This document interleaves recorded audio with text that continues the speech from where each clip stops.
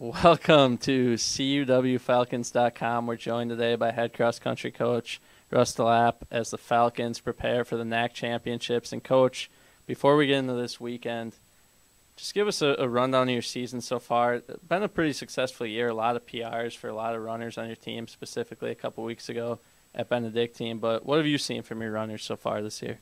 Uh, well, they uh, really good group, really good freshman uh, class that came in. All are uh, came in pretty well prepared.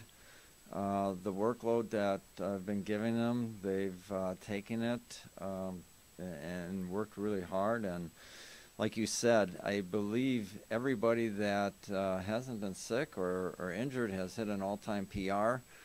And uh, this has been one of the best seasons overall as a team I, I think that we've had in a long time. Now you mentioned the freshmen. Let's start with the women's team. You look at your top group of runners, and a lot of them are freshmen. A lot of times it's four of the top five, at least three in there. One of them specifically, Bethany Coop. She's been your top runner all season long. Talk about her a little bit and what she's done for your team.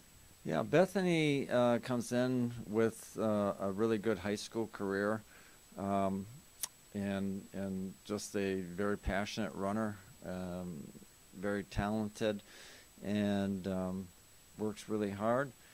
And she's really uh, just a overall good good runner, and she's really been uh, turning it on lately too, uh, along with some of the other freshmen. Now, one runner that, that I know you've been really excited about that's had an outstanding season is Jessica Rice. She has had put together career races back to back times. I think it's three straight PRs now. Talk a little bit about her and her her season this year. Yeah, Jess Rice is is just uh, I don't. I I told her it, it, took two and a half years to get here, but uh, she really had what I would call a miraculous race. Uh, I mean, she has improved by minutes, which is unheard of, and um, I just hope she can keep it going. I mean, she's probably had the best season of anyone on the team. Um, and and you know the thing with her too, she persevered through a lot of difficult um, times, not improving for two years, and and really stuck with it. Uh, kept working hard, and and now she's uh, top five, and and looking to be on the regional team, which is a huge step for her, and and great things are happening for her. Now, before we get in the men, let's look ahead for the women this weekend. Uh, what do you expect to see out of the other teams in the conference? Where do you think your team fits in there as, as you compete in the NAC championships? Yeah, realistically, Aurora's Aurora's stacked. They're deep. They're ranked. Uh, last time I looked, they were ranked fifth in in the Midwest. Uh, they're probably going to repeat as champions, and then and we're going to compete with them.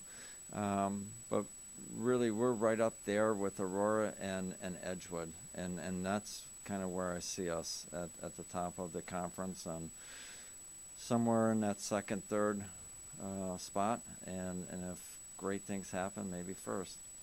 Now we switch over to the men's side. It's been a little different at the top of your lineup. It seems to be a different runner each week. For a while, it was Mielbeck, but unlike where the women's Coop, it's been every week you have a about a group of four or five that really could be your top runner any week. What have you seen from the men's team? Yeah, the men. Uh, some of the some of the guys that are coming on started out slow. Uh, Bernau, uh, Rutkowski, uh, a freshman kid that I have have uh, high hopes on, uh, was injured mid-season, so he had to take a couple weeks off. I'm looking for him to have a big race. Uh, Mike Taylor, sophomore, is coming on real strong. Uh, he's been anywhere from second to third runner. Uh, and then, of course, Rob Mielbeck, uh, our senior, you know, really looking for him to have a, a great race at, at conference. Um, and then uh, Chris Beesbor, uh, looking for him. This is his final year.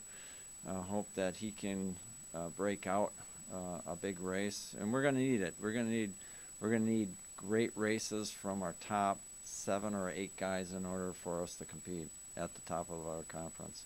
Yeah, what what are you seeing uh, from the rest of the conference as you guys get ready? Where do you think your team fits in? The women near the top, men same expectations. Uh, men top top three. Uh, again, Aurora is is is got um, ten of the top fourteen runners in the conference, so they're going to be, you know, tough to beat. And then MSOE and, and us are right there, uh, competing. I think for that for second place or at the top of the conference.